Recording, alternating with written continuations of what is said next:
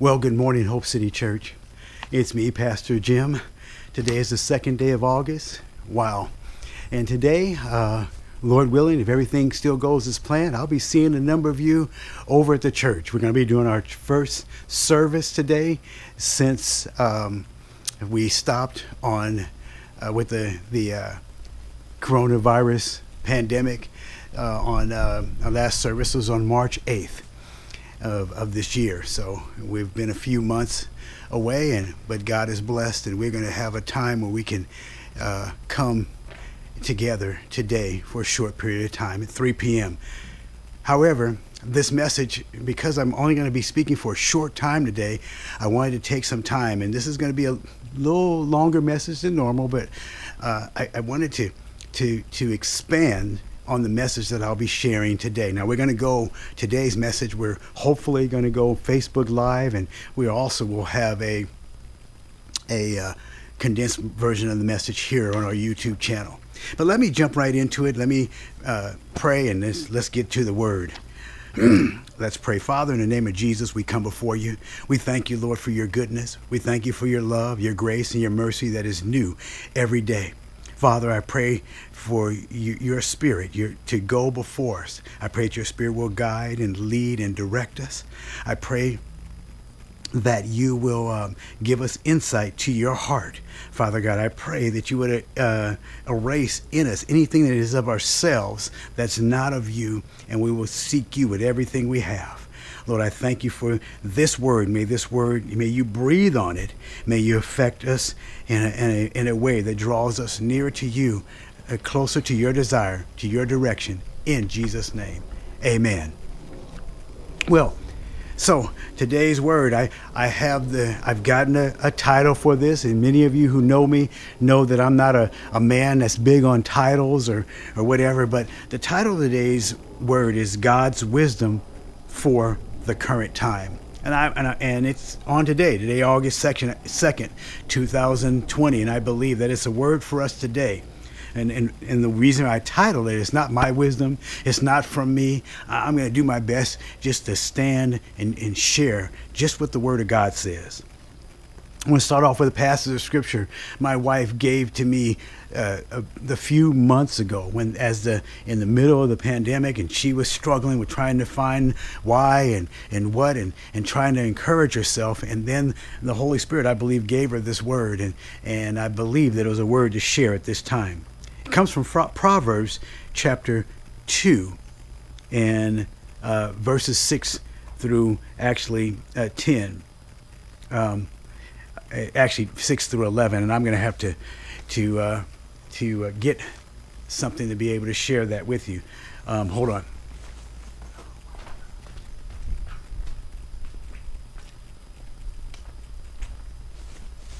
Because I, in my notes here, I, I stopped at verse uh, verse 10, and I, it needs to go through verse 11 for us to get the whole, the, the fullness of this passage. So Again, I apologize to you, but I, again, I, as I told you before, I don't edit this. It's all my mistakes are, and uh, and editing faux pas are are in this whole thing. So I want to share this to you from uh, two different versions, uh, and um, oh my gosh.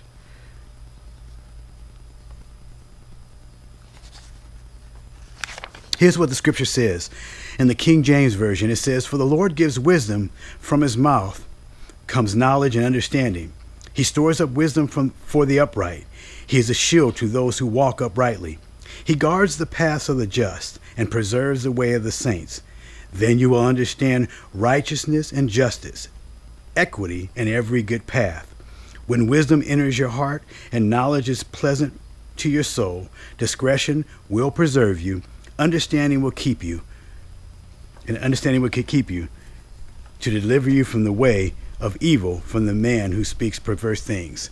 So the first, uh, I went, I read through verse 12, but I'm going to uh, just want the, the the the gist of the the passage really was through verse uh, through verse 11.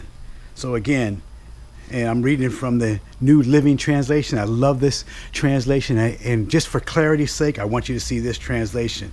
It says, For the Lord grants wisdom, from his mouth comes knowledge and understanding. He grants treasures of common sense to the honest. He is a shield to the he's a shield to those who walk with integrity. He guards the paths of the just and protect, protects those who are faithful to him. Then you will understand what is just, right, and fair, and you will find the right way to go. For wisdom will enter your heart, and knowledge will fill you with joy. Wise choices will watch over you. Understanding will keep you safe. And I love that. And so here's some things that I just wanted to share those in those passages for you and some key words in the passage why I'm and where I'm going and the wisdom from God from this current time. In verse 7 in the New Living Translation he says he grants treasure a treasure of common sense to the honest. Now many of us know what it's like to be honest and I, and you think well I'm an honest man. I, I if I find if I go to the the grocery store and and and uh, and for some reason I get out and I check my receipt and uh, I wasn't charged for something that I, I should have been charged for. I go back in, I show my receipt and go, man, I, I, you, you didn't charge me for this. I want to make sure you don't cheat yourself. But I believe the honesty in this case, and I know it goes just beyond the way we react in the world, but it's an honesty in our hearts. How honest are you before God in your heart? In other words, are you willing to check everything? You really check the, the depth of your motives for doing things?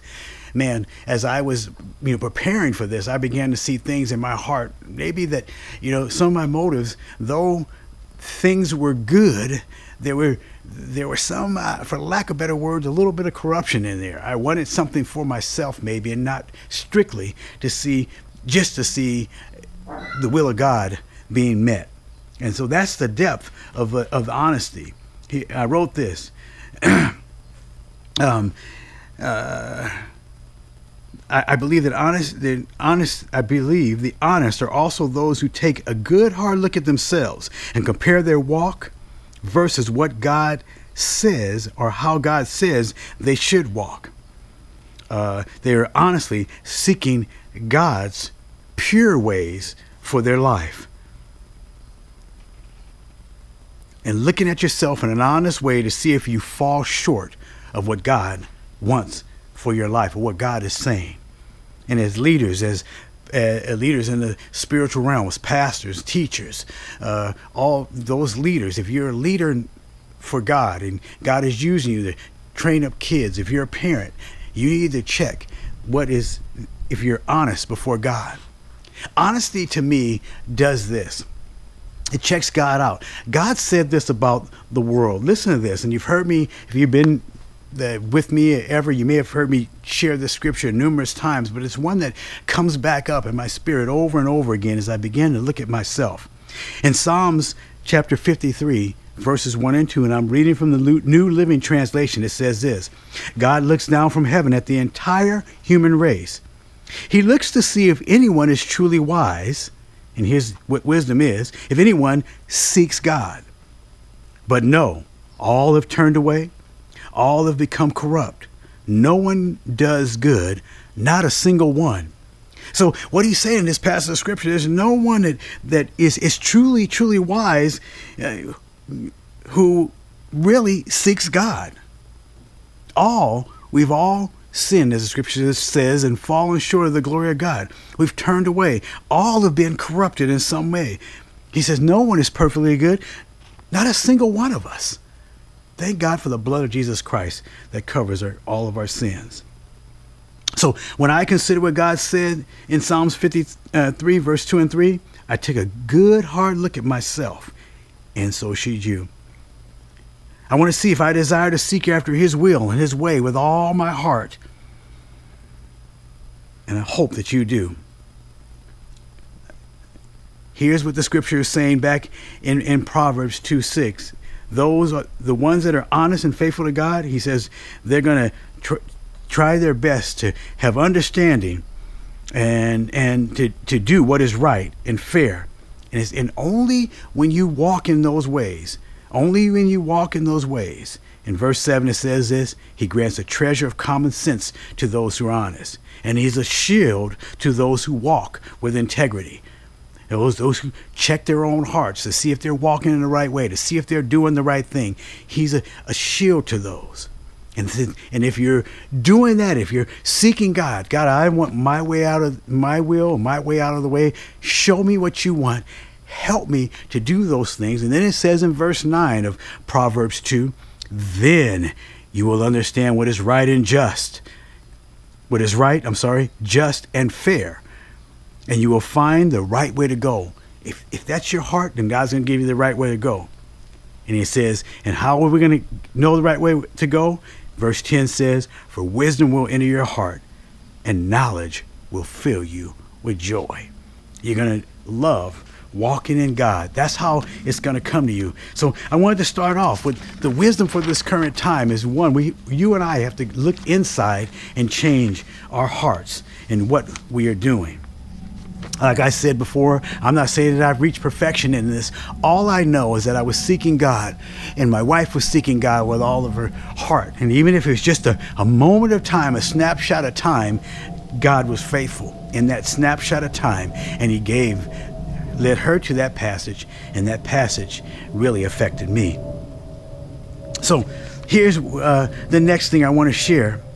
Um, what what the basis of uh, of the knowledge that God gave to me because from that passage of scriptures I was seeking him he he began to to just to pour out from him from his word not from mine what you and I ought to be doing here's what he said in in Matthew chapter 22 what's the basis of all the things that God is is is teaching us and telling us the the basic check mark the basic thing that you and I ought to check and make sure our heart's in the right place. In Matthew 22, Jesus was was ministering to a group of people, and all of a sudden, out of that group of pe- people, this this uh, law, this expert of religious law, of the commandments and of the religious law, came to him and really tried to test him, as the King James version says, and and the New Living Translation that I'm going to read from it says it tried to, tried to trap him. Listen to what it said in verse oh, so Matthew chapter 22, verse 25, and I'm reading from the New Living Translation. It says, One of them, an expert of the religious law, tried to trap him with this question Teacher, which is the most important commandment of the law of Moses? Jesus replied, You must love the Lord your God with all your heart, with all your soul, and with all your mind. This is the first and greatest commandment. The second one is equally important love your neighbor as yourself. The entire law and all the demands of the prophets are based on these two commandments. See, the key word is here in that passage. The key word is, to, is love. One, love God first of everything. And then, if you truly love God, you will follow his command to love your neighbor. You love God and love your neighbor above everything. See what happens, and even in the church right now, there's this thing where we, we say we love God, but we fail in loving our neighbor. Yeah, loving our neighbor doesn't mean that we're gonna, you know, I'm only gonna love you if you you love me back. I'm only gonna love you if you're serving God. I'm only gonna love you if you're believing as I'm believing. No, I'm gonna spend time and and, and loving you. And I gotta tell you, man, I fall so short. I need to be on my my knees for those who don't follow God. I, I, I, as long as I put it back in his camp and I love right, you know, that's it. I was thinking about examples of certain people that God has given in the Word of God to us to show us the examples of love. It was the Apostle Paul. I remember at one point being stoned and beaten, and and in the Book of Acts, and and soldiers from Rome having to pick him up and carry him and lift him above the crowd so they wouldn't beat him. And when he gets to a place of safety, he asks if he can let down and, and, and be turned to that same crowd and give them the word of God. Paul, knowing that death may come upon him, wanted to go before Caesar and minister to him and every king along the way that wanted to hear him. His heart was that they would change to love God. And Paul, not afraid to face death, knowing that at the point of death, the, the point when he loses his life, the point when his head was removed from the rest of his body, in an instant, he was going to be with God. He said even death wouldn't stop him from doing what God wanted him to do. Here's some more passages of scriptures on love. I just want to give you here's the basis of what God is asking us to do in these times right now. If we our hearts adjusted and to God properly, we're going to seek Him and we're going to love those around us, and then we're going to ask God how to do it. What does His Word say on how to do it? Do you really love God? Do you really love your neighbor? In Matthew 5, verses 44 through 48, the scripture says, and this is Jesus says, talking again to us. He says, But I say to you, Love your enemies. Bless those who curse you. Do good to those who hate you. And praise, pray for those who spitefully use you and persecute you, that you may be sons of your fathers in heaven. For he makes his sun rise on the evil and on the good. He sends rain on the just and on the unjust. For if you love those who love you, what reward have you? Do not even the tax collectors do the same? And if you greet your brethren only, what do you do more than the others? Do not even the tax collectors do so? Therefore, you should lo- therefore check this out verse 48 therefore you shall be perfect just as your father in heaven is perfect talking about our perfect love perfect love for one another 1 peter 4 8 says this above all things have fervent love for one another for love will cover a multitude of sins. The Amplified Bible says says it like this. That was the King James version. The Amplified Bible, New King James version. That was the New King James version. I'm sorry. Here's what the Amplified Bible says: Above all things, have intense and unfailing love for one another. For love covers a multitude of sins. Well, what does that multitude of sins mean? It means forgiveness and disregard of offenses of others. In other words, man, we're, we're living in a time where people are coming against people. I'm living in a time where people are coming against me just because uh, of how they think I stand, of of the possibilities of how I may stand as being a, a, black man, as being a preacher, as being all these things. And people come against me and they'll say bad things, and people don't care about me. And God's saying, even in the midst of all that, I want you to do something. I want you to stand in love for them because I do.